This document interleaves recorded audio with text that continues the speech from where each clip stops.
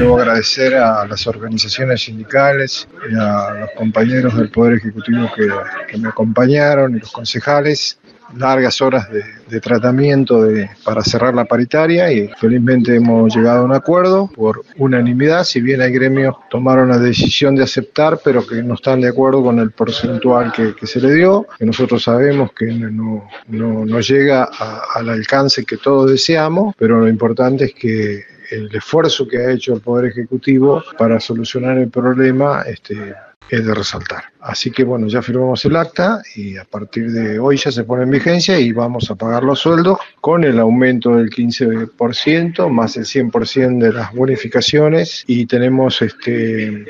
dos sumas fijas de 25 y 20 para octubre que corresponderá a los adicionales de enfermería y mucamas.